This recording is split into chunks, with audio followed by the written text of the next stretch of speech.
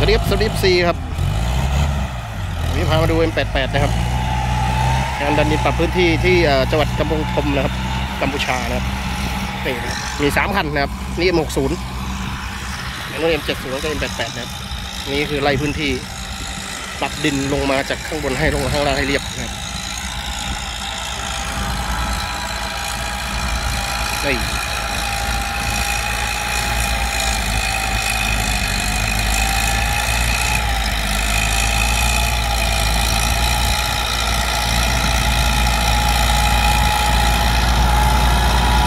ล่ดินเก่งมากนะครับ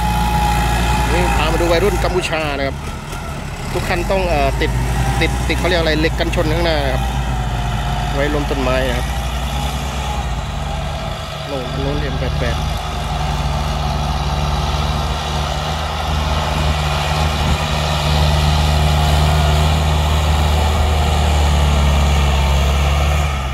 นี่นะเขาจะไล่กองดินมาพักไว้นะครับ แล้วก็มีอีกคันหนึ่งมาไล่ดิน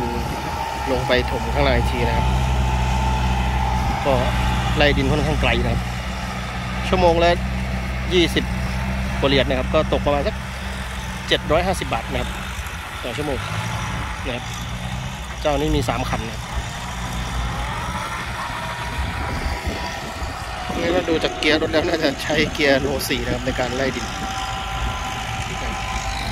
ส่วน M70 น่าจะเป็นเกียร์ไฮหนึ่งนะครับ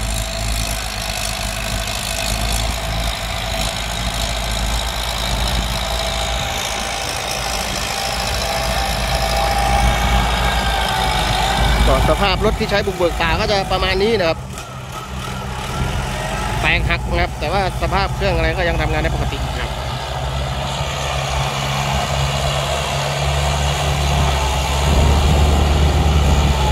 นี่ M88 นะครับคนขับบอกขับง่ายนะครับ ยกนิ้วให้เลยนะครับ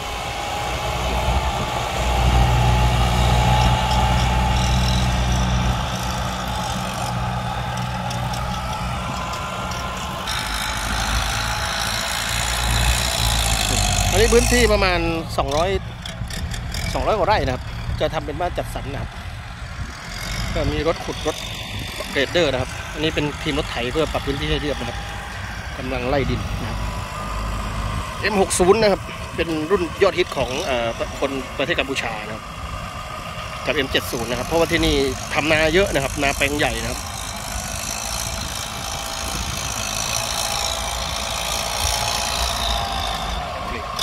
นี่ก็ให้ดูประมาณนี้นะครับ